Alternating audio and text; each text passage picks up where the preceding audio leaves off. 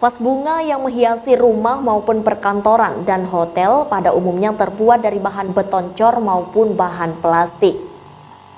Namun saat ini vas bunga dari bahan fiberglass mulai banyak digemari oleh masyarakat karena jauh lebih praktis dan modelnya pun sangat bervariasi.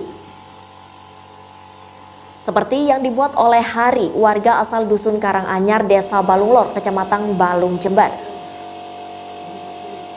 Usaha yang ia geluti selama enam tahun ini awalnya sudah berkembang di Jakarta, namun Hari memilih mengembangkan bisnis tersebut di desanya. Hal itu dilakukan agar bisa menyerap tenaga kerja dari warga desa setempat, sehingga perekonomian di daerah asal bisa semakin baik.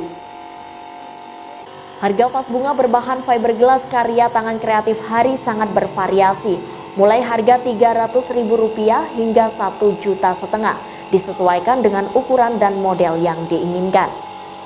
Usaha ini sangat menjanjikan bahkan vas bunga berbahan fiberglass mampu tembus pasar luar Jawa.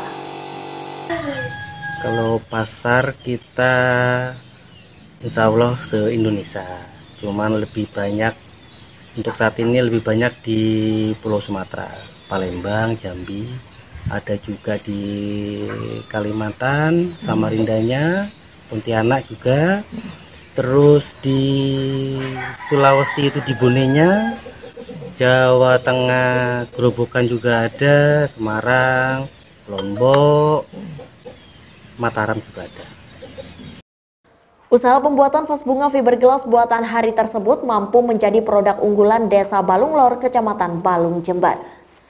Dari Balung, Bambang Sugiarto, Jember 1 TV melaporkan.